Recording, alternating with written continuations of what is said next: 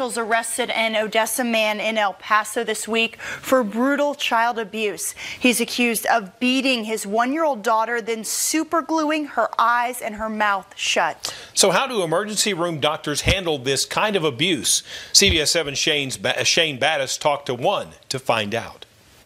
Police responded to a disturbance call more than a week ago where they found a one year old child who had been beaten and choked. Her eyes and mouth were shut and sealed with superglue. Johnny Carter, the child's father, fled to I 20 before his vehicle got stuck and he escaped police on foot. He was arrested Monday in El Paso. While the thought of a glued mouth and eyes is strange and frightening, Dr. Suda Bose says doctors can deal with it fairly easily.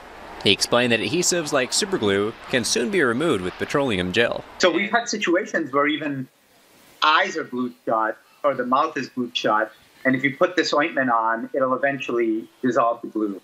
He says it's important for doctors to stay focused on immediate threats like breathing and circulation problems when they encounter strange cases like a glued mouth. You can't get distracted by outliers, and you really have to focus on the airway, the breathing, the circulation, and do things in almost a cookbook protocol manner so that critical injuries don't get missed. Carter is being charged for injury to a child, a first degree felony. Yo, YouTube, YouTube, what's going on? Straight back again to hit you with a video. Now, this video right here comes out of Odessa, Texas, that is. For those of you who know what Odessa is, yeah, it's a small little town, but they known to get down. Anyway, a strange, crazy ass story coming out of Texas. Texas, what's been up with us being in the news lately? I mean, damn, I can't be biased. I have to, I have to say it. Just like we put Florida on blast. You know what they say about Florida, Georgia, Baltimore, every damn way else. Big shout out to you all, but yet it's still, you know, it had to be an equal opportunity thing. So I can't just not let the news go by in Texas without reporting that. For my people that are like, Trey, man, you you down bad. You from Texas too, and you up here putting us on blast. No, I'm not putting you on blast because if you're not the one doing these type of things, these dastardly deeds they call them, you don't have anything to worry about. But anyway, we have a father who decides the best thing to do to a one-year-old child that wouldn't stop crying, not pamper the child, not pick the child up like a lot of us good dads would do, pick up the baby and rock it, kiss the baby and just smile, you know, and, and not go try to get some toys for the child, see if the child was hungry or need changes. No, this dad decides that he gonna hit the child, beat the child up at the child is a grown ass man like he's Floyd Mayweather getting ready to whoop Adrien Broner, Broner, Broner, whatever his damn name is, in December. You feel me? Because they gonna fight. So I guess he thought that he was Mayweather and the child was Broner and that he was gonna give us an early bout. So this guy not only beat this child, hit this child in the head in a rib area, but also went a step further to do the unthinkable. And I'm not talking about getting married to somebody outside your race. No, he decided the best thing to do to shut the baby up. I guess he believed in the true theory of hear no evil and see no evil. He decides to tape his daughter eyes shut. Yes, with super glue in her mouth shut. And if you ever had super glue even on your hands or on some hair on your body, and trust me, it does not feel good. So it's gonna be hell getting that super glue off them eye, eyelashes. I feel sorry for that poor child. And the mom was right there the whole time. And you mean to tell me, mama, you did not pick up something and knock the hell out this guy? It would have been me and my child now would have whooped ass. You ain't gonna just sit up here and beat my child up, and I'm not gonna jump on your ass and hit you across your head with something. Best believe me and my baby gonna get up and handle our business. I'm gonna read a snippet from this story and I'm gonna give my opinion. Surely as we go. Insane in the membrane. Big shout out to Cypress Hill. Insane father tortured his own baby with crazy glue, super glue, gorilla glue, whatever you want to call it, just glue that sticks. When she wouldn't stop crying. And we know one thing about children. Some grown folks do it right now. Some of you all crying right now. Just listen to the story or cried last night over somebody that didn't come home. Children cry, especially at one years old. You don't know what the hell be wrong with them. You just cater to them, cater to them, cater to them, cater to them, cater to them. You never know. But one thing about it, you still have love and respect, especially, you know, especially for any child, but more especially also if it's your child. It's, it, it's wrong to do that to anybody else's child, but how would you do that to your own child? It goes to show you some people should not have children and they gonna pass some sterilization laws in the near future. You just get ready for it. You ever seen that movie, uh, Children of Men? You're gonna you're gonna see that happening in the future where you it won't be too many people getting pregnant or having babies in the future because they're gonna stop a whole lot of this shit. Now, it was a cruel and sickening act by the man who was supposed to protect her. A father super gluing his baby's eyes and mouth shut. You mean to tell me that's the best thing that you could do, that you could think of as a parent? You can watch YouTube. You can watch, damn, uh, read magazines or whatever. Go on uh, satellite TV, cable, uh, Fire Stick, and, and, and watch tips on parenting. You can watch other people raise their children. I'm sure you have a mama or dad. You could talk to them about parenting. You don't parent a child by super gluing their eyes and mouth shut. Only a devil would do that right there to their children because no decent father, number one, would even hit their child, beat their child like that, and then also super glue that child. I wouldn't give a damn if my child was 30 years old. I still wouldn't do my child like that, period, point blank. That's a sad situation right there. And it goes to show you how devilish and how evil some of these people is. And what make it so bad, now he did all this, but the moment he got through, he fled and ran.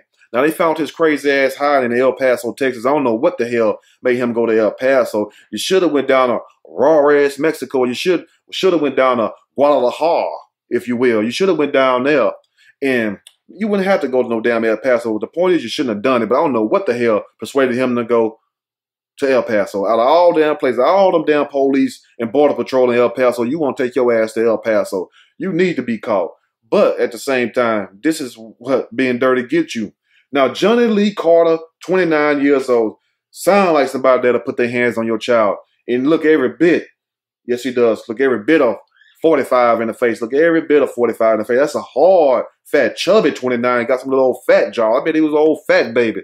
Has been arrested after allegedly abusing his one year old child. A one year old child. And this coward ass fool gonna run. But guess what? You didn't beat them police when they came and snatched your ass out that damn uh place that you was at. You didn't put your hands on none of them. And that's sad. These guys be willing to kill each other. And I'm not saying go after and target police, but one thing about it, go after somebody that's gonna meet you with the same force if not greater force, it's going to be greater force unless you got a whole team. And I doubt that because anybody riding with a fool like this and riding me having his back, having his side, huh, you you you going to get your issue too.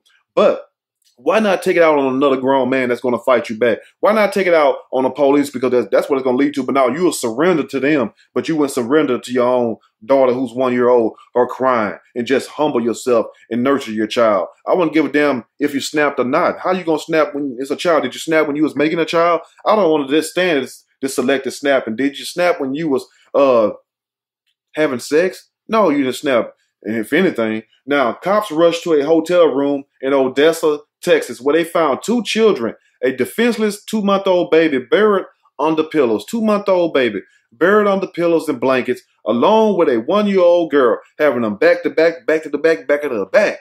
But Carter was nowhere to be found, the news reports. Authorities later captured his stupid ass in Texas, and uh, in El Paso, Texas. He was caught Monday in El Paso on a felony charge of injury to a child and causing seriously bodily injury according to the Odessa Police Department. And one thing about the great state of Texas, the Lone Star State, they do not play with you messing with children. It's just like Florida, but Texas worse. I'm telling you, you don't want to get caught messing with no damn child in Texas, whether it's uh whether whether it's that child sex predator stuff or whether it's uh hurting a child and especially killing them. You go into the damn uh, uh gas chamber. If anything, a lethal injection, you kill a damn child in Texas. But to beat one up, oh, you gonna be one step in almost there. And the guys that's in the prison and hunts, wherever they're gonna send them, you will get your issue there. Because one thing the guys in the joint do not tolerate and they do not take lightly to is a person beating up a damn child. You got some guys in there that will put some on your ass as soon as you walk through the gate. Because it's strange. They already know what you're charged for. As soon as you walk in, it's like, damn, they got a damn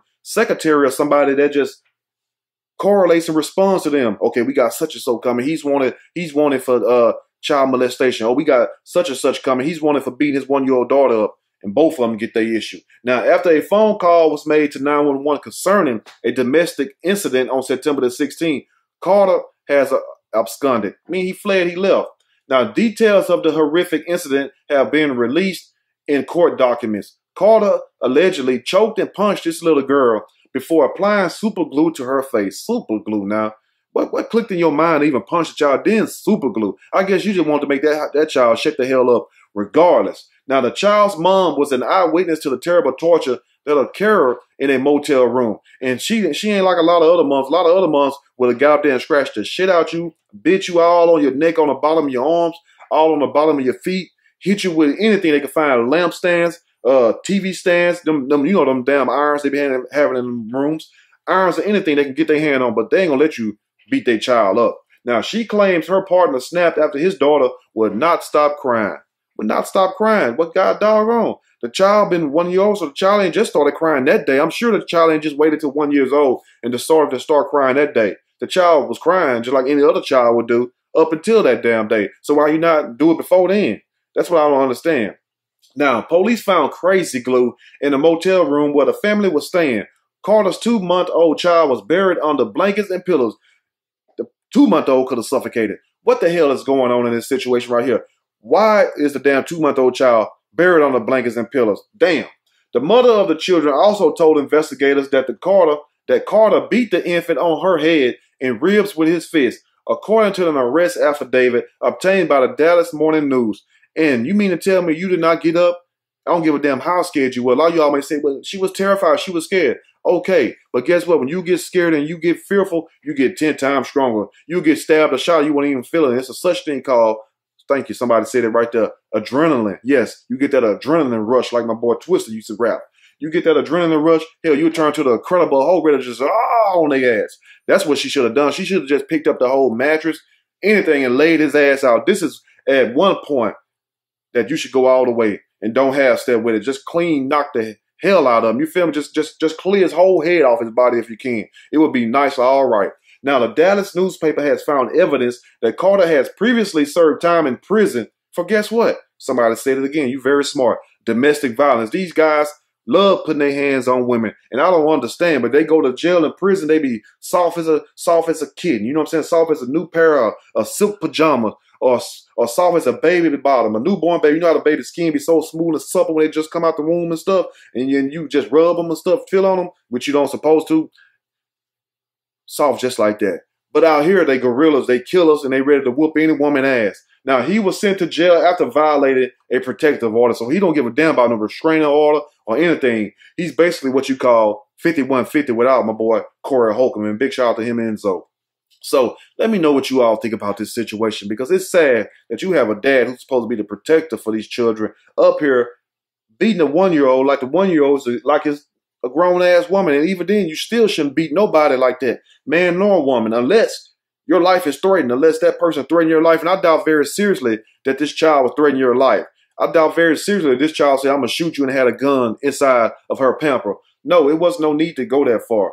But some people shouldn't have children. And these stories are plain to see. You know what I'm saying? It's not about hate. It's not about putting nobody down. It's about uplifting people. It's about warning people and letting people know. Because sometimes people just need to hear somebody else say it before they react on it. You know, so that's the purpose of videos like this. And because I have a special place in my heart for children and for people, and also now I hate to see people do other people wrong, but especially grown ass men messing with women and messing with children, people who can't defend themselves. Put your hands on somebody who will put something on your ass. And I'm sorry to say it like that, but that's just the way I feel. And you should feel the same way. And especially the men. I'm talking to the men right now. I don't expect the women, even though I know a lot of you all will get down you about that life, you about about it. But to real men, I know y'all filming because one thing that real men, at least how I was taught, my daddy taught me, was that you respect women, you respect the children, you respect the children, you protect the women and the children, the old people, the people who can't help themselves, what we call the defenseless ones. Some grown ass man, this guy like a pretty big size man.